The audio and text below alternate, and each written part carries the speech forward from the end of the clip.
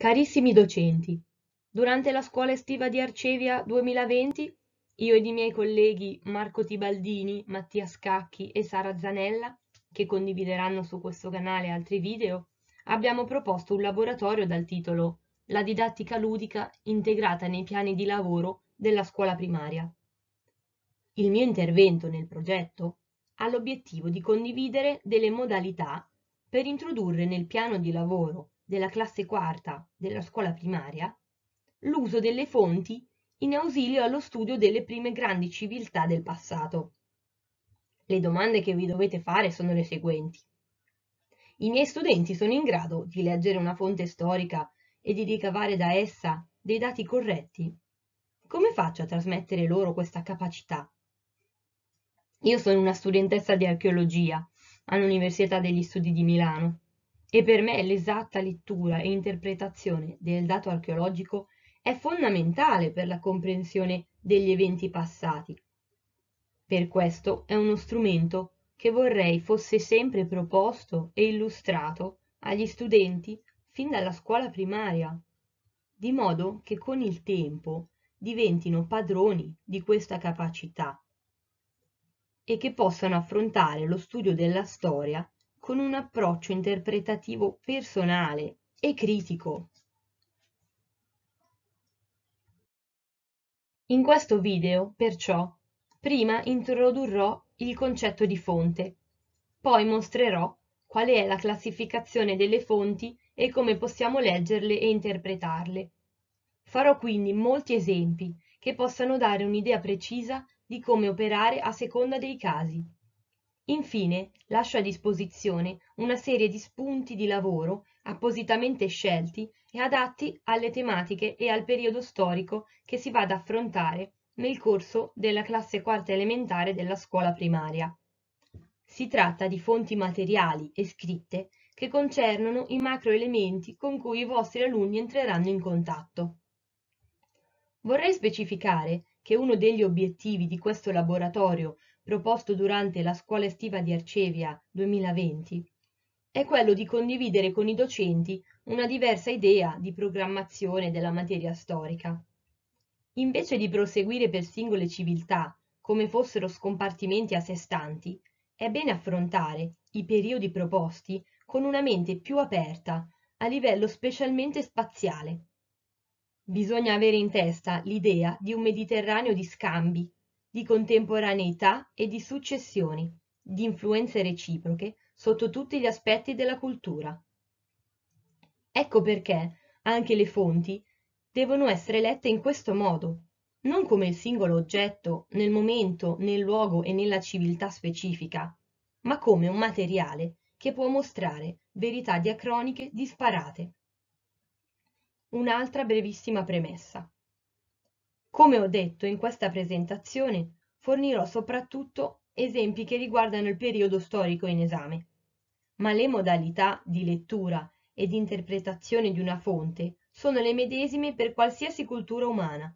Pertanto questo discorso vuole essere anche intrapreso per fornire elementi utili per le interpretazioni storiche a livello più generale. Iniziamo. Partirei dal concetto di monumentum, una parola che sentiamo spesso ma della quale forse non conosciamo tutti i significati. Questa deriva dal latino e significa ricordo. Mentre nel passato si poteva perciò attribuire a qualsiasi oggetto che era stato creato e deposto per essere testimonianza di un evento o di una personalità, si pensi ai grandi edifici romani finanziati dai privati imperatori. Oggi è un termine che usiamo per indicare il monumento come oggetto fisico, un palazzo, un arco, un anfiteatro, un tempio, un'abitazione. Per l'appunto un edificio che ci trasmette un ricordo del passato. In realtà ogni oggetto appartenente a un periodo più remoto che ritroviamo anche il più piccolo può essere chiamato monumentum perché è una testimonianza, una fonte proveniente dal passato, lasciata ora intenzionalmente, ora no. quella che definiamo come traccia storica, è perciò ogni indizio che si può estrapolare ed interpretare dalla lettura dell'oggetto e che proviene dai siti archeologici, dagli edifici, dalle scritture, dai monumenti, da quella che in gergo scientifico è detta la cultura materiale. La fonte è perciò la base dell'indagine storica. Qualsiasi conoscenza storica che abbiamo acquisito fino ad oggi deriva dalla lettura e dall'interpretazione di una testimonianza. Passiamo ora alla classificazione delle fonti. Classificazione formale. Comprende fonti scritte, ovvero iscrizioni su diversi supporti, come terracotta, metallo, pietra, ceramica, papiro, fonti figurate o iconografiche, pittura rupestre, statuette, bassorilievi, fonti mute, per esempio un sito archeologico, e fonti orali. Classificazione gerarchica. Si divide in fonte primaria, non mediata da interpretazioni, e fonte secondaria, mediata da interpretazioni, ricostruzioni. Classificazione sulla volontarietà. Fonte lasciata volontariamente, per esempio un tempio greco, un edificio romano, delle tombe private, oppure una fonte lasciata involontariamente, per esempio un focolare paleolitico, un aratro neolitico, tracce archeozoologiche, antropologiche e archeobotaniche. Classificazione tipologica. Comprende fonti archeologiche, letterarie, epigrafiche, papirologiche, numismatiche. Andiamo ora a mostrare i diversi esempi delle fonti tipologiche. Iniziamo con le fonti archeologiche. Tra queste possiamo trovare fonti che ci danno informazioni sull'urbanistica e sull'architettura nel passato, cioè i resti di un sito archeologico, di un tempio, di edifici pubblici e privati. Altre che ci danno informazioni sulla società e sull'economia nel passato, strumenti da lavoro, armi, gioielli, resti di indumenti, scene di caccia, di banchetto. Questi determinano stili, cronologie, monelli artistici, tecniche, dati storici, consuetudini di vita quotidiana. Fonti che ci danno informazioni sul culto, sulla religione. Possono essere figurine di animali, persone, scene di culto, necropoli, urne, manufatti rotti volontariamente presso alcuni templi. Come primo esempio propongo la lettura e l'interpretazione di una fonte archeologica muta. Decido di non rivelarvi nemmeno di che sito si tratta. Propongo di procedere semplicemente con la descrizione dell'immagine, di modo che possiate capire cosa intendo come interpretazione deduttiva di una fonte. Osservando l'immagine, la prima cosa che si nota è che si tratta di una porta, di un passaggio, con un'architrave sormontata da una lastra triangolare che raffigura due leoni in alto rilievo.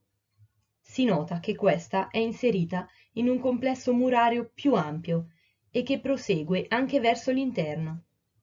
Si intravedono le montagne e questo può far pensare che l'abitato si collochi in altura. Altri elementi che si possono notare facilmente sono i blocchi di costruzione delle mura, di pietra, squadrati e di diverse dimensioni, legati a sé da argilla seccata al sole. Ebbene, a seguito di una semplice descrizione come questa, le cose che si possono capire sulla civiltà in esame sono già molte. Prima di tutto si può dire che non solo costruiva i siti in altura, probabilmente per avere una visione migliore di tutta la vallata circostante e quindi del territorio che gli apparteneva, ma che per questioni quasi sicuramente di protezione i cittadini avevano eretto delle mura difensive di grandi dimensioni. Alla città si accedeva quindi tramite delle porte, tra cui questa in particolare, che comprende al di sopra anche un elemento simbolico quale può essere l'altorilievo dei leoni, simbolo di forza e regalità. Inoltre, altro elemento è il tipo di costruzione dell'alzato, semplice, in pietre di diverse dimensioni e con una porta con architrave ancora orizzontale, il che dimostra che si tratta di una civiltà che non aveva sviluppato metodi di costruzione più raffinati e innovativi quali possono essere l'arco o le decorazioni policrome. Ecco, ora vi posso dire di che civiltà si tratta. Questa immagine raffigura la Porta dei Leoni del sito di Micene, in Argolide, nel Peloponneso, capitale della grande civiltà palaziale dei Micenei, attiva dal XV al XII secolo a.C., che ha dominato il mar Mediterraneo e ha gettato le basi delle civiltà future, a partire da quella greca. Il sito è stato scoperto da archeologi tedeschi nella seconda metà del XIX secolo ed è stato scavato completamente, portando alla luce i resti dell'intero sistema insediativo. In questa immagine vi mostro una fotografia aerea delle rovine sulla sinistra e la pianta ricostruttiva del sito sulla destra. Dopo aver scoperto di che civiltà stiamo parlando, ecco che da questa altra immagine si può dedurre qualcosa del tipo di società che la caratterizza. Vediamo dove è situata la grande porta precedentemente descritta. Si vede sull'immagine sulla destra. Accesso tramite la colossale Porta dei Leoni. È seguita da una rampa che porta verso gli appartamenti reali, che accolgono anche la Sala del Megaron. A est della porta, e quindi all'entrata della città, si trovano le tombe reali e le case dei guerrieri. Ecco, già con così pochi elementi si capisce subito che il livello organizzativo di questa civiltà era impostato su base gerarchica, dove i grandi capi vivevano nella parte più alta della città, più vicino agli dei, ed è lì che accoglievano altri personaggi eminenti nella sala del Megaron un ampio spazio rettangolare presente anche in altri grandi palazzi della stessa epoca, quali quelli di Cnosso e di Tirinto. Un vano pensato per accogliere un gran numero di persone e quindi interpretato come luogo di apparizione del grande capo. Altro elemento che si nota da questa ricostruzione è che le tombe si trovano nella parte più bassa della città. Vi posso dire poi che in questo settore è stata ritrovata la famosissima maschera di Agamennone, mentre all'esterno delle mura sono state scavate altre tombe a Tolos, tra cui il tesoro di Atreo, la grande tomba attribuita al padre di Agamennone. Ovviamente queste attribuzioni derivano dalla lettura dei siti su base mitica e spesso sono anche titoli che hanno l'obiettivo di attirare i turisti. In verità non si ha la certezza né che la maschera né che la tomba siano attribuibili ad Agamennone o Atreo, e nemmeno si può dire che questi personaggi dell'Iliade siano davvero esistiti. Coloro che di sicuro sono esistiti erano i grandi capi di questa civiltà palaziale, che potevano avere la stessa importanza e le stesse caratteristiche attribuite alla figura di Agamennone.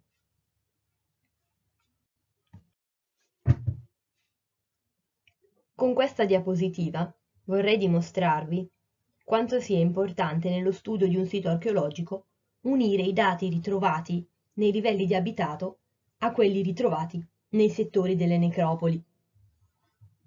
Come ho detto, Micene accoglie due necropoli, una interna alle mura della città e una esterna, rispettivamente dette del circolo A e del circolo B. E tra quelle esterne si trova il famoso dromos di Atreo, l'immagine in basso a destra. In realtà la lettura fondamentale da svolgere riguarda i corredi funerari delle tombe, che confermano non solo che la civiltà era a base gerarchica. Le tombe infatti presentano corredi diversi a seconda della ricchezza della famiglia. Pochissime contenevano oggetti in oro. Confermano anche che la civiltà aveva un assetto territoriale, cioè che il palazzo governava sui territori circostanti e anche che era formata da una buona parte di guerrieri sepolti con armi in bronzo.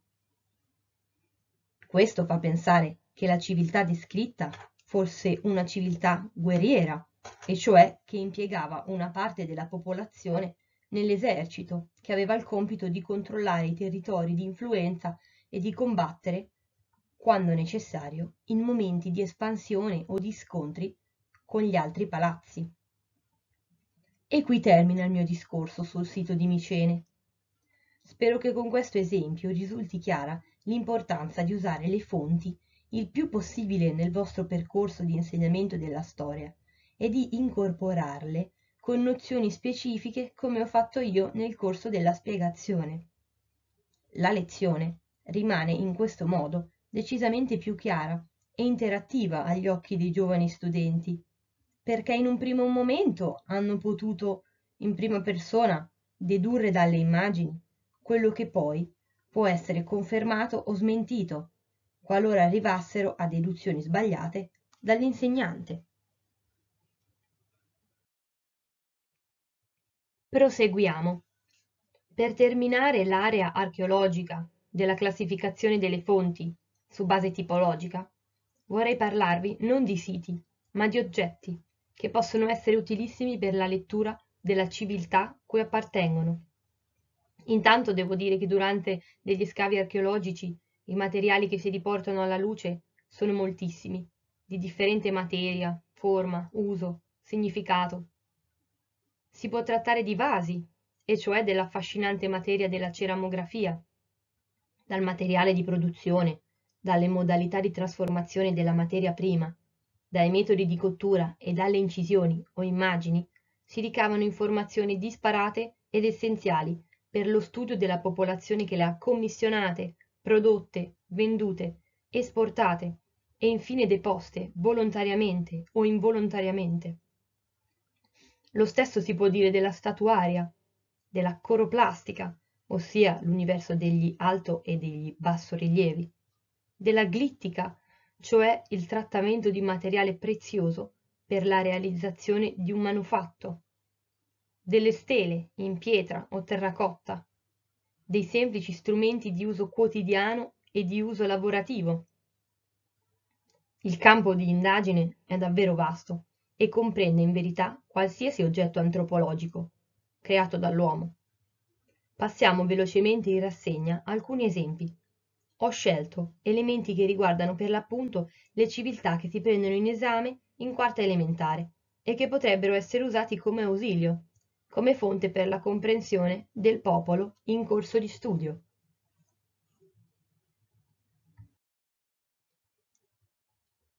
In questa diapositiva vedete una statuetta che raffigura un personaggio maschile inginocchiato, in atto di preghiera e di devozione, interpretabile come un personaggio eminente che si rivolge a una divinità oppure al sovrano. Il materiale è bronzo impreziosito col rivestimento in lamina d'oro sul volto e sulle mani. Nel piccolo basamento, dove si inginocchia il personaggio, sono raffigurati l'orante stesso davanti a una divinità in trono e affiancato da un montone come animale sacrificale. È stato ritrovato a Larsa, a pochi chilometri da Uruk, un'antica città sumera, forte politicamente e militarmente, e attiva specialmente dal periodo che va dal 2000 al 1600 a.C. La statuetta è attribuibile per l'appunto al periodo più forente della città, il XVIII secolo a.C. Quello che si può dedurre da questa piccola statuetta è l'usanza di realizzare statuette votive e di dedicarle a dei o sovrani a seguito di un rituale che comprendeva quindi anche il sacrificio di un animale e che aveva l'obiettivo di richiedere qualcosa in cambio, per esempio terre o prosperità un'azione che sicuramente si potevano permettere solo i personaggi più abbienti della città. In questo caso stiamo parlando di una statuetta che appartiene alla civiltà sumera. In quest'altra diapositiva vediamo invece la famosa stele di Hammurabi, un oggetto informativo che si propone spesso agli alunni come metodo per introdurre la figura di questo sovrano babilonese particolare che nel XVIII secolo a.C. decise di dettare le leggi al suo popolo mettendole per iscritto. Quello che consiglio di fare per una lettura completa dell'opera è di concentrarsi sui paragrafi più importanti del codice per comprendere l'organizzazione della civiltà sotto questo sovrano e di prendere in esame anche il tipo di scrittura, cioè il cuneiforme, la simbologia della lunetta, il luogo di ritrovamento, cioè Susa, ed il tipo di supporto, cioè la pietra indiorite. Il codice comprende 282 paragrafi che spaziano dai campi dell'amministrazione a quelli della giustizia, fino a un epilogo che contiene maledizioni per tutti quelli che non rispetteranno le regole dettate è iscritta in caratteri cuneiformi che esprimono la prima grande scrittura usata a livello regionale nel vicino Oriente antico e la cui storia di decifrazione è illuminante e per questo invito a cercare informazioni a riguardo e a introdurre nel programma. Nel corso della mia spiegazione ritorneremo comunque sul cuneiforme quando parleremo delle fonti letterarie. Per quanto riguarda la lunetta, essa raffigura Hammurabi stesso, sulla sinistra, in piedi, che partecipa a un colloquio divino con il dio Shamash, in trono, a significare che le leggi stesse sono decise in riunione con il grande dio della giustizia e dell'equità, e per questo sono leggi sacre. Interessante un pensiero sul luogo di ritrovamento, non Babilonia, ma bensì Susa, capitale del regno Elamita. La stele fu infatti trasportata qui da un sovrano nel 1175 a.C. come bottino preso dalla città di Babilonia, occupata nel corso dei secoli da differenti civiltà, tra cui gli Assiri, i Persiani, i Sassanidi. Infine, un appunto sulla diorite nera, una roccia difficilissima da lavorare e scolpire, e per questo usata poco in antichità. Inoltre, c'è da dire che dallo studio geologico del territorio è stato possibile muovere l'ipotesi che il materiale venisse importato probabilmente da regni dell'attuale Turchia orientale. Non esistevano infatti cave di diorite nei pressi di Babilonia.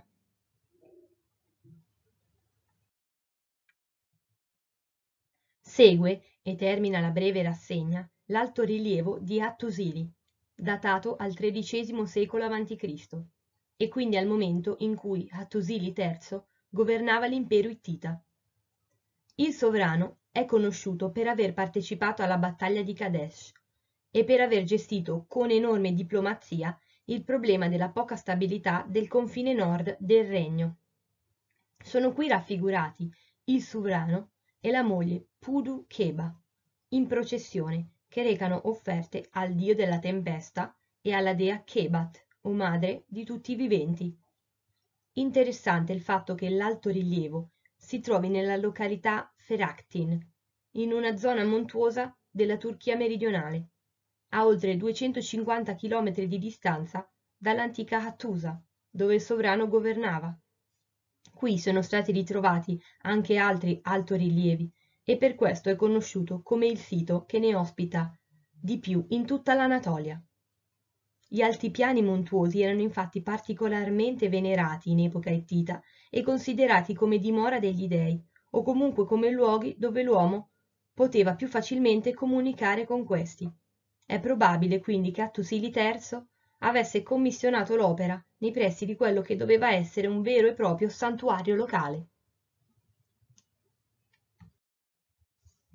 Passiamo alla seguente classificazione tipologica. Le fonti letterarie. Con fonte letteraria si intende qualsiasi fonte scritta arrivata fino a noi. Si tratta principalmente di corrispondenze e rendiconti commerciali che si trovano in archivi e biblioteche antiche. Le fonti possono essere dirette, e cioè non mediate da interpretazioni successive, non riscritte da storici del passato più remoto o più recente. Sono da noi traslitterate, decifrate, interpretate. Le fonti indirette, invece, sono quelle mediate, trascritte dai grandi storici del passato e tramandate ai posteri. Per esempio, storici come Erodoto, Socrate, Aristotele, Platone, Livio, Strabone. La differenza tra i due tipi è che le fonti trascritte da altri vanno sempre interpretate ulteriormente, mettendo in campo le conoscenze sul periodo storico cui appartiene la riscrittura e pertanto a tutti quelle che potevano essere le difformità rispetto all'iscrizione originale. Le fonti dirette hanno la caratteristica di essere spesso e purtroppo frammentarie e di difficile interpretazione. Bisogna pensare che le più antiche sono sempre scritte in lingue ad oggi ancora poco conosciute, mentre quelle secondarie sono maggiormente in greco e latino. In entrambi i casi si tratta comunque di elementi di particolare importanza. Si parla dello studio non solo dell'informazione inserita nella fonte, ma intrinsecamente anche del motivo per il quale era stata scritta, fosse per fini commerciali, amministrativi, politici, sociali.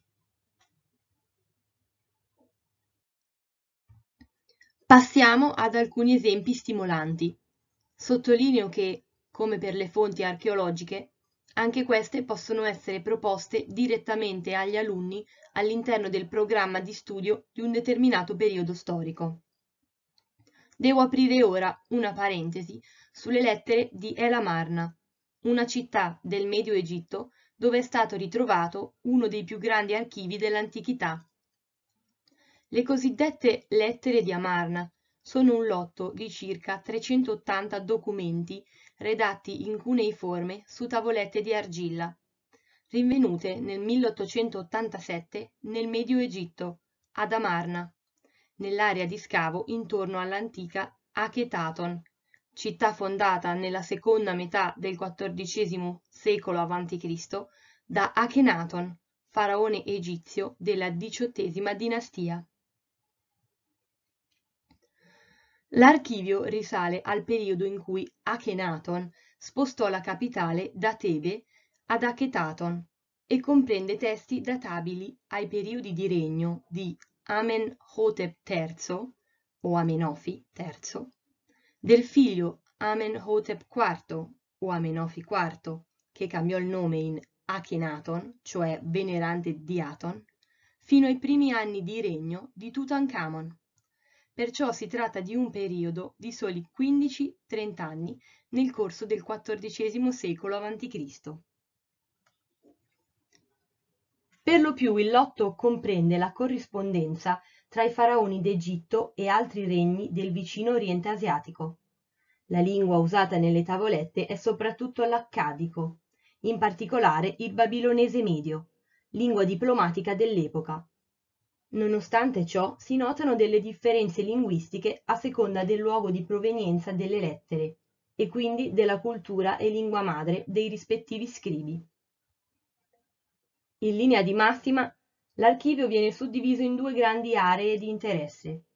Rapporti con sovrani stranieri, indipendenti dall'Egitto e pari al faraone, detti grandi re, e lettere relative a rapporti con altri re stranieri, indicati come piccoli re, la maggior parte dei quali erano regni vassalli dell'Egitto nell'area del Levante. I temi delle lettere del primo gruppo sottolineano in special modo scambi cerimoniali di doni, politiche matrimoniali, felicitazioni per un'intronizzazione recente. Del secondo gruppo, la gran parte è composta da risposte dei piccoli re a lettere di cui non si ha conoscenza, o autonome richieste di aiuto dei piccoli regni vassalli. Vediamone insieme una che riguarda delle trattative matrimoniali in corso tra re di Babilonia ed il faraone Amenhotep III o Amenofi III. Akadashman Enlil, re di Carduniash, mio fratello di, così dice, Nibmu wa Ria, grande re, re d'Egitto, tuo fratello. Io sto bene, salute a te, alla tua casa, alle tue mogli, ai tuoi figli, ai tuoi cavalli, ai tuoi carri, nel tuo paese tanta salute. Io sto bene, la mia casa, le mie mogli, i miei figli, i miei cavalli, i miei carri, le mie truppe numerose stanno bene, e nelle mie terre tutto sta molto bene. Ho appena udito le parole che tu mi hai scritto, così. Ecco che tu desideri in moglie mia figlia, ma mia sorella, che mio padre ti diede, è già laggiù con te, e nessuno l'ha più vista, né si sa se è ancora viva o se è morta. Queste sono le parole che mi hai trasmesso. Ma hai mai inviato qui un dignitario dei tuoi che la conosca e che possa identificarla? In questa lettera, Kadashman Enlil è il re di Babilonia, chiamata qui Carduniash, mentre Nibmu Waria è Amenhotep III. Si tratta di una risposta del faraone a una precedente lettera ricevuta dal re di Babilonia che chiedeva informazioni riguardo a una sua sorella, inviata precedentemente dal padre in Egitto perché potesse diventare moglie del faraone. Ecco che il re di Babilonia chiede che venga ritrovata questa sua sorella promessa sposa, prima di mandare in moglie una sua figlia. Al che Amenhotep III che non ha ancora ricevuto questa donna in sposa, chiede al re di Babilonia se ha mai inviato dignitari in Egitto che possano riconoscerla e lo esorta in ogni modo a farlo. Questo è solo uno spezzone dell'intera trattativa che comprende varie lettere scambiate tra i due per arrivare a un accordo e per verificare che questa sorella sia effettivamente arrivata in Egitto.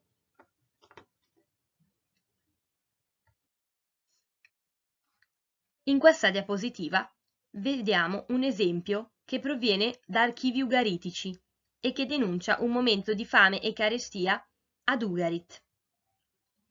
Sapete che c'è la carestia nelle mie terre? È una questione di vita o di morte. C'è carestia nella nostra casa. Moriremo tutti di fame. Se non arrivate in fretta, anche noi moriremo di fame e non vedrete neppure un essere vivente nelle nostre terre.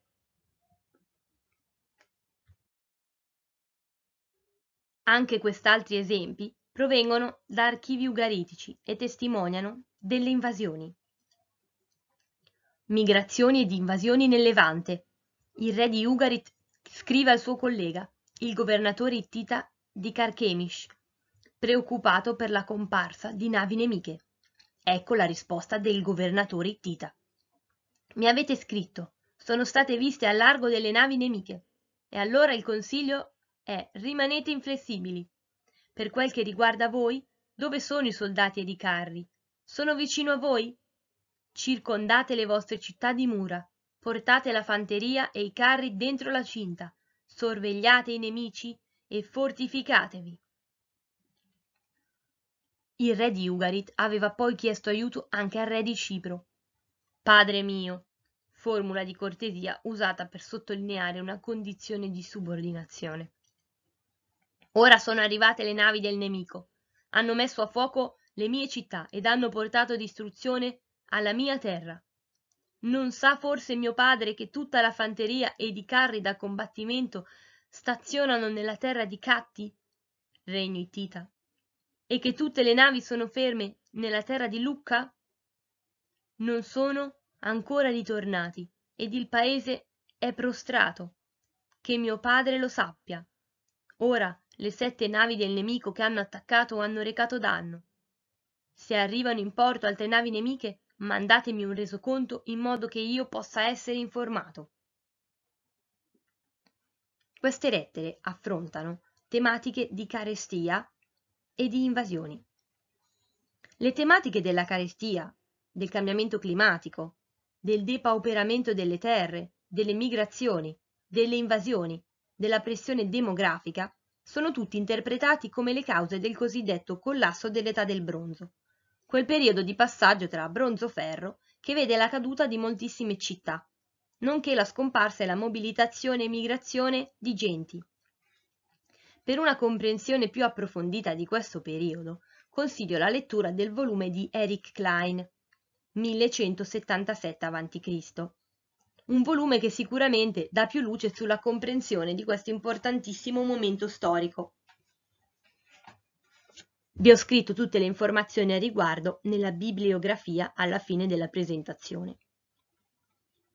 Uno degli obiettivi del nostro gioco di ruolo per la classe quarta è anche questo, l'introduzione nel programma di storia dell'anno scolastico in questione di questo evento poco rappresentato nei libri di testo e scarsamente affrontato con gli alunni. Il mondo di allora non cambiò semplicemente da un giorno all'altro ed i mutamenti non si risolvono di certo nel mero passaggio tra la costruzione di oggetti in bronzo a quella di strumenti in ferro. Nessuno ad oggi conosce le reali cause. Il dibattito è ancora aperto e per questo nemmeno noi docenti e studiosi possiamo presentare delle idee come certezze ma è bene fin dalla scuola primaria tenere presente questo dibattito e non presentare ai giovani studenti il problema come inesistente o come passaggio repentino e sconcatenato da un'era ad un'altra. Passiamo ora alle fonti epigrafiche. Sono tutte quelle fonti letterarie incise su supporti durevoli, quali ceramica, pietra, terracotta, marmo, iscritte in bassorilievi, iscritte in elementi architettonici. Possono essere pubbliche, cioè iscrizioni che erano state scritte da personaggi eminenti e sovrani come informazione per una certa quantità di persone o per l'intero corpus cittadino. Oppure private, cioè quelle fonti che erano pensate per essere lette solo dai diretti interessati in una corrispondenza oppure solo dalla famiglia del mittente. Spesso queste sono epigrafi funerarie. Danno informazioni sulla storia politica, economica, prosopografica e sociale. La storia prosopografica comprende fonti che forniscono dati iconografici e biografici su personaggi illustri e che permettono la ricostruzione, per esempio, dell'aspetto fisico di un individuo. Per parlarvi delle fonti epigrafiche avevo pensato di analizzare insieme delle tavolette. Nel periodo storico affrontato con i vostri studenti, le scritture in uso nel Mediterraneo erano le seguenti. Il protocuneiforme. All'origine della forma tipica di questa scrittura c'è una motivazione di carattere tecnico. Si tratta infatti delle impressioni lasciate sull'argilla da stili di canna a sezione triangolare allungata, a forma cioè di cuneo.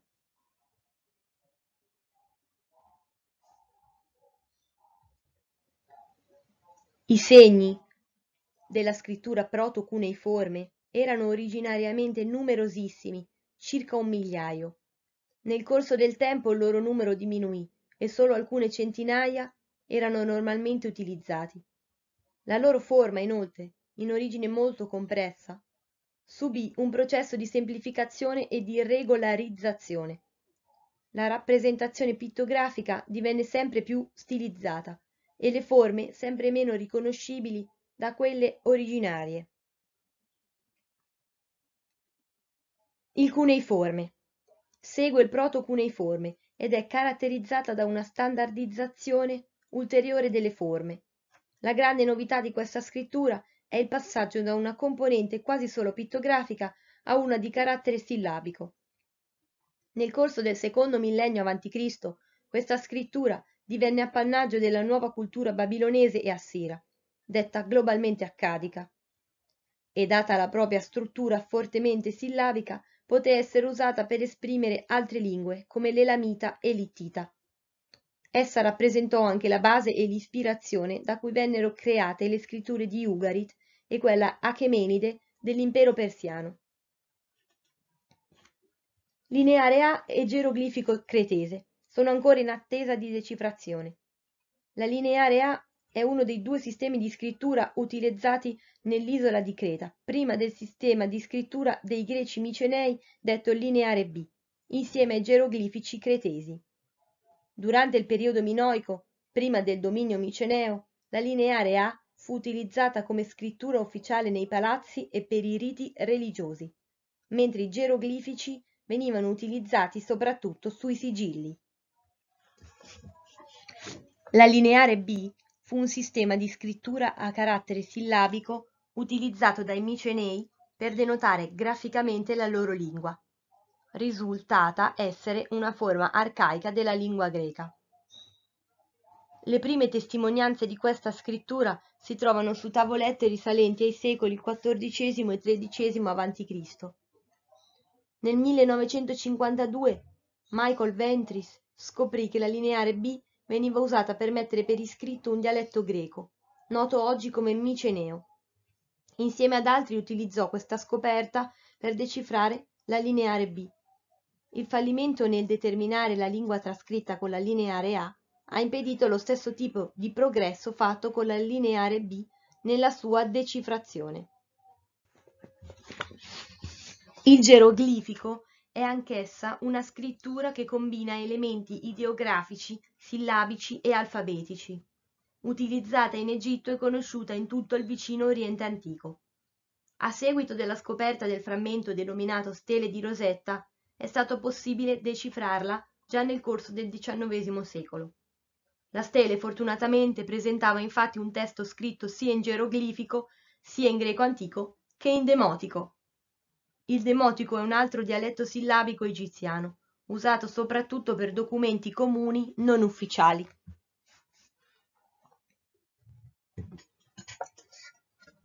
Vi fornisco qui alcuni esempi. Queste sono delle tavolette in terracotta provenienti da Uruk. Uruk è uno dei siti che ne ha restituite in maggiore quantità e sono tutte risalenti al V millennio a.C. Si tratta di esempi di proto-cuneiforme. È stato possibile riconoscere che i segni erano inizialmente di natura simbolica. Le semplici linee indicavano numeri, alcune forme invece degli oggetti, ed in generale erano usati per aiutarsi nelle azioni di conta di materiale e di stoccaggio, nonché di commercio. In questa altra diapositiva vi mostro la corrispondenza tra i tokens ed i primi segni pittografici. Infatti inizialmente per la conta degli oggetti venivano usati questi gettoni di forme differenti. Ad ognuno di essi corrisponde un pittogramma. Questi segni nel corso del tempo e come accennato in precedenza divennero sempre più stilizzati e diversi dall'originale. Ecco che si andarono a formare i primi caratteri del proto-cuneiforme, gli stessi che nel cuneiforme si tradussero in segni più strettamente sillabici. Tra quelli sottolineati in giallo possiamo vedere il segno del numerale 1, di una veste in tessuto, di un vaso litico, del granaio, della vacca, il segno del metallo, il segno della collina, il segno della pecora o dell'agnello, e così via. Passiamo invece a due esempi della lineare A e del geroglifico cretese. A sinistra un esempio di una placchetta proveniente dal sito di Cnosso, da strati del secondo millennio a.C., la quale è stata perforata e incisa con segni geroglifici, la forma di scrittura più usata nell'isola in quel momento specifico. Non se ne conoscono purtroppo ancora né la funzione nella traslitterazione.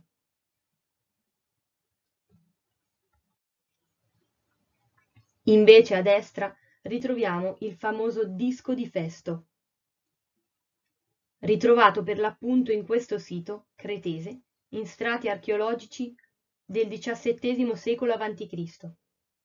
Su questo reperto sono stati effettuati studi approfonditi che hanno portato a una sua più completa interpretazione. Trovato proprio da una spedizione italiana sull'isola nel 1908 sotto il muro di un palazzo minoico, l'ubicazione originale è ancora discussa. Contiene 241 simboli incisi in ordine concentrico, quando l'argilla era ancora fresca, su entrambi i lati. Sebbene gli studiosi non siano ancora convinti sul tipo di scrittura utilizzato, che potrebbe essere un tipo di lineare A, ma ha anche affinità con il geroglifico anatolico ed egiziano, molti segni sono stati interpretati, poiché riconoscibili come pittogrammi specifici, Si riconoscono infatti simboli di bambino, donna, uomo, testa, tatuaggio, elmo, freccia, arco, pettine, aquila, vite, gatto, papiro e parecchi altri. Inoltre è stato possibile riconoscere delle vere e proprie parole, cioè un insieme di segni a significato sillabico. Nonostante questa buona conoscenza dei segni e nonostante sono state mosse varie ipotesi sulla sua decifrazione, che fosse una storia narrativa, un gioco da tavolo, un teorema geometrico, un testo di culto.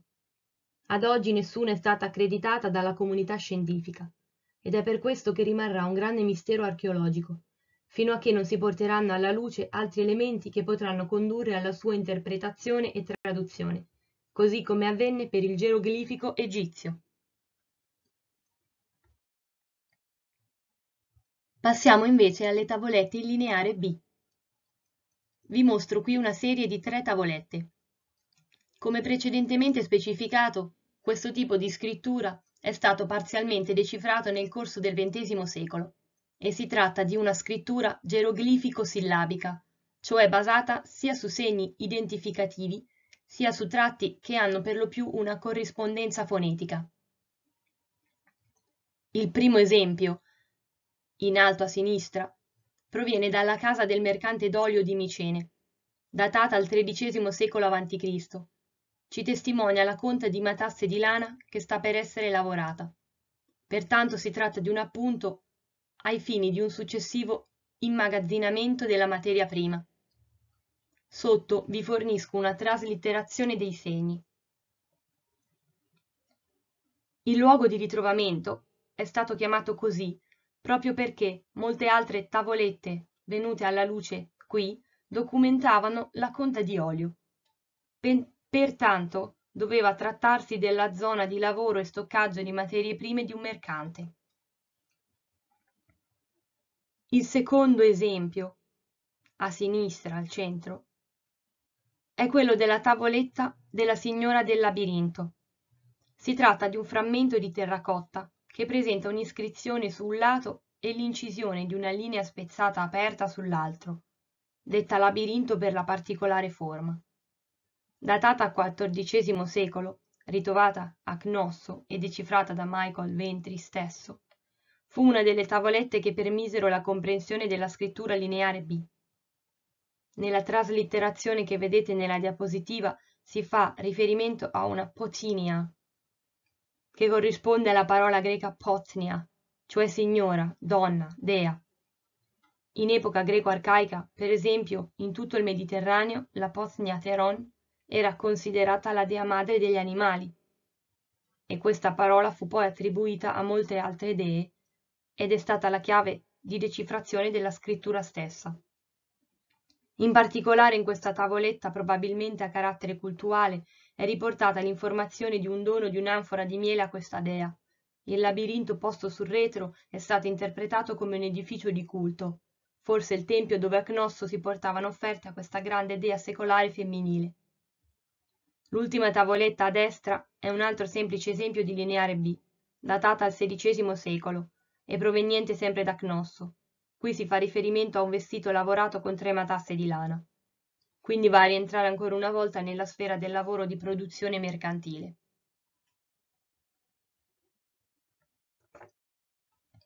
Nella seguente diapositiva ho voluto indicare i campi cui di solito si riferiscono le tavolette in lineare B, per farvi notare soprattutto che la scrittura in questo periodo storico era usata maggiormente per necessità economiche e quindi di conservazione e inventarizzazione di prodotti.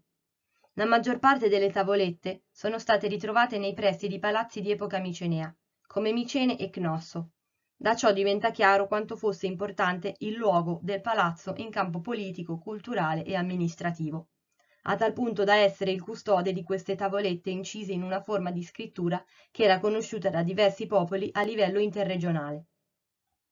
Vi leggo a titolo informativo alcune parole note della lineare B. Wanaka, il signore, il capo supremo della comunità palaziale. La Rawaketa, colui che guida il popolo, forse un capo di tipo militare. Damocoro, forse governatore di provincia. Notiamo che in greco il damo, il demos, è il popolo. Terre chitimena, forse terre private. Terre chechemena, forse terre pubbliche.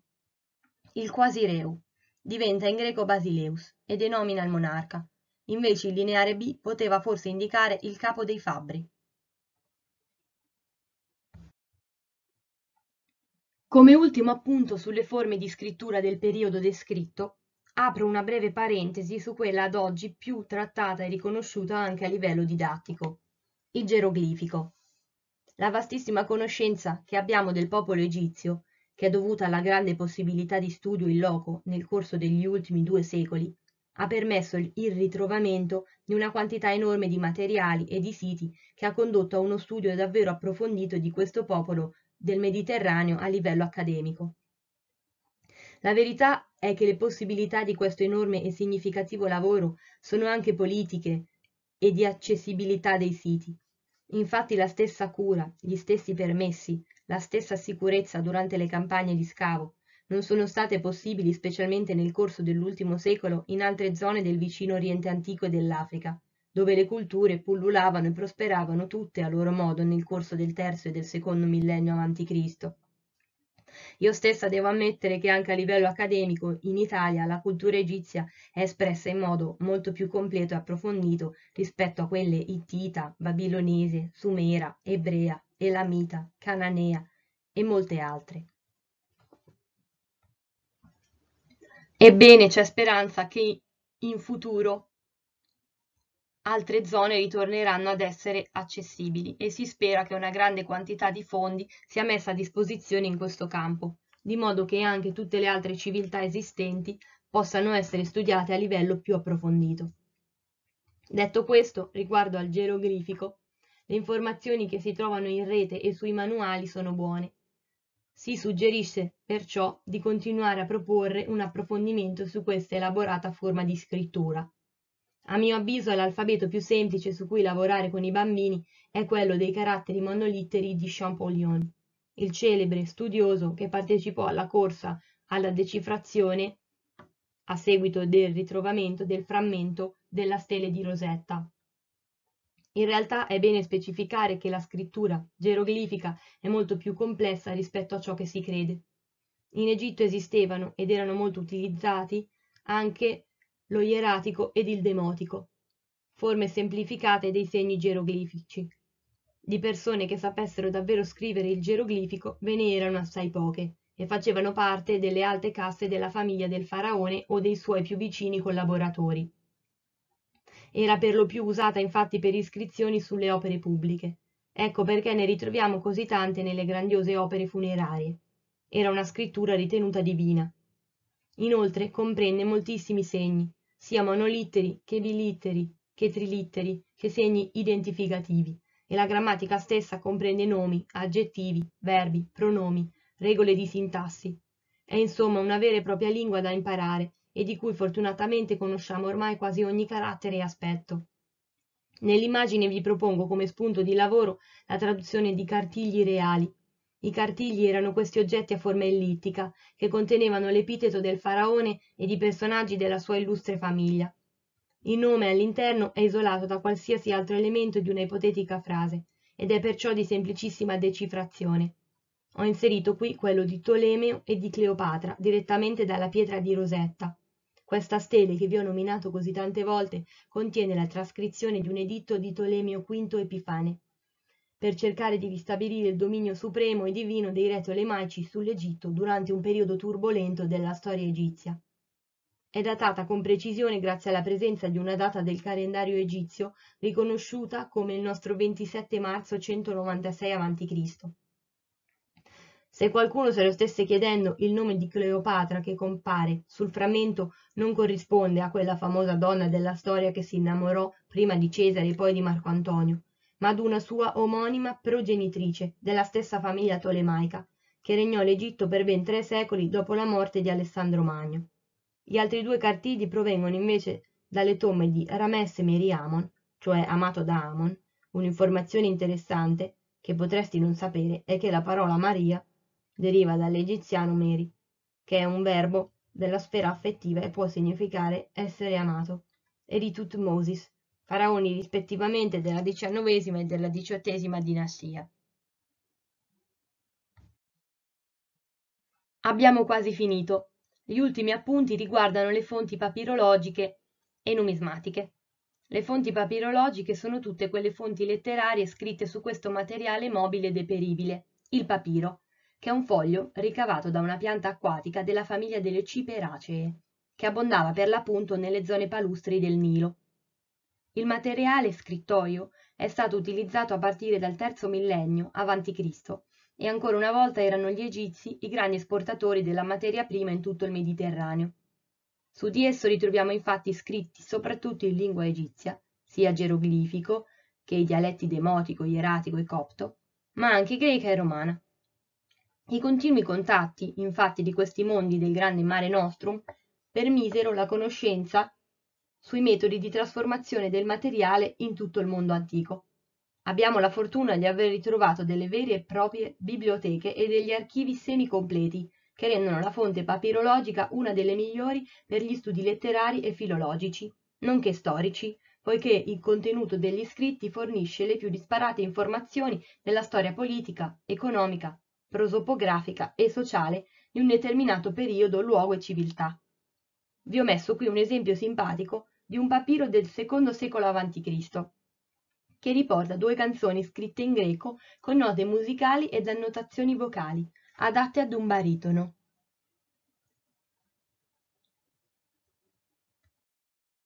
Vengono infine, ma definitivamente non per importanza, le fonti numismatiche, un altro enorme universo di studio.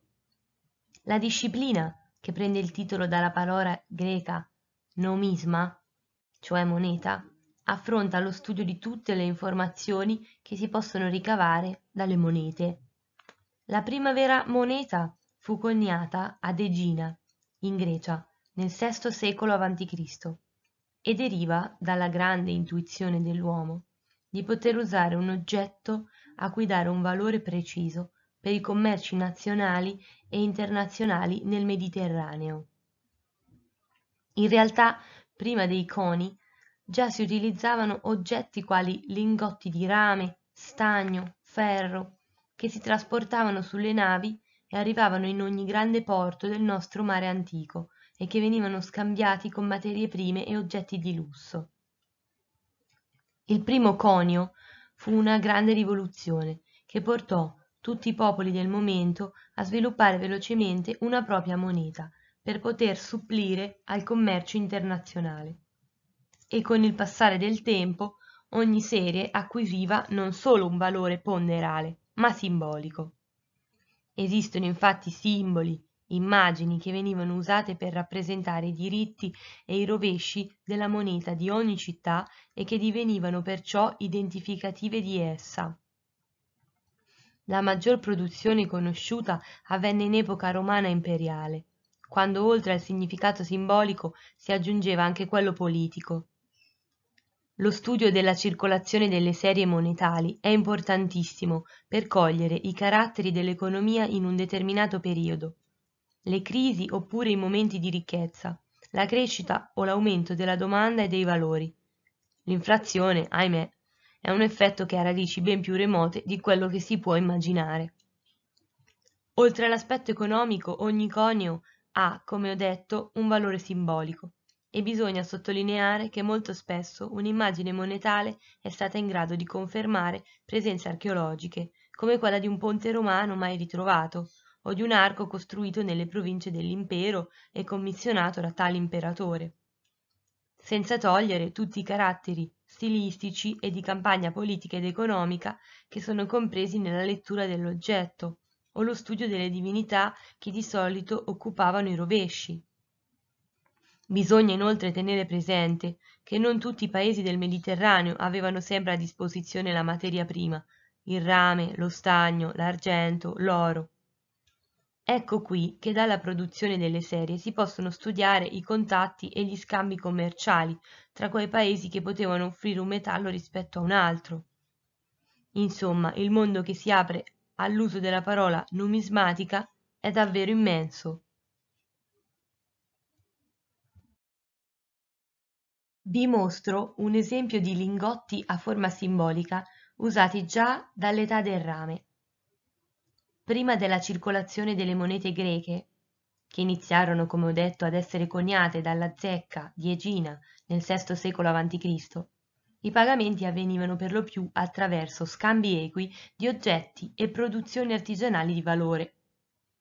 Inoltre uno dei metodi attestato, già dall'età del rame, era quello di fabbricare lingotti a peso standard, solitamente del peso di 30 kg. Questi lingotti avevano una forma simbolica. Per forma simbolica si intende quella della pelle di bue, molto conosciuta e utilizzata per secoli per la fabbricazione di questi lingotti di metallo differente. Per lo più la scelta della forma ha essa stessa un valore simbolico, ci riporta infatti alla ricchezza che proviene dalla terra, dalla possibilità di arare dei campi, di produrre e di possedere anche animali domestici come il bue o la pecora. Non a caso la parola latina pecunia, cioè ricchezza, deriva dal termine pecus, il gregge di pecore. Con questa slide finiamo i diversi esempi e volge al termine la presentazione. L'ultimo appunto è il seguente. La realtà storica e la conoscenza storica non necessariamente coincidono. Le fonti non sono quasi mai oggettive o immutabili. È dall'interpretazione che deriva una sintesi storica. Un nuovo dato può sconvolgere la teoria precedente. La storia antica è di natura congetturale. Cosa voglio dire con ciò? Tutto quello che conosciamo oggi del passato deriva da una lunga storia di trasmissione di memorie, di eventi, di personaggi. Qualsiasi dato che è fornito dalla sintesi storica non necessariamente coincide con la realtà storica. Non si potrà mai essere certi che un dato evento sia accaduto in tutto e per tutto nel modo in cui noi lo pensiamo senza contare del fatto che quello che leggiamo sui libri di storia è l'interpretazione di qualcuno, parole che noi reinterpretiamo a nostra volta. È come un lungo telefono senza fili. La lettura che ci arriva è inevitabilmente distorta e l'unico mio interesse è che voi e chiunque altro ne sia consapevole. D'altra parte questa verità è anche una di quelle cose che rende l'archeologia così affascinante, una disciplina che a mio avviso è sempre una scoperta. Perché dico che la storia antica è di natura congetturale? Perché il dato di oggi può sconvolgere quello di ieri.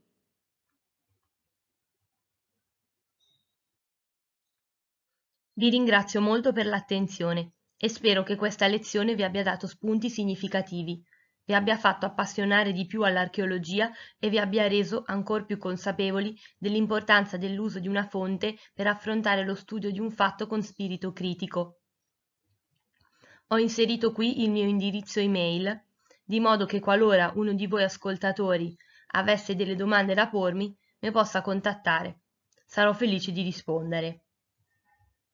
Inoltre ecco il link che vi porta alla visione del materiale che avevo preparato per i corsisti nel corso della scuola estiva di Arcevia 2020. Si tratta di svariate fonti e tracce che spero potranno esservi utili per gli approfondimenti con i vostri giovani studenti.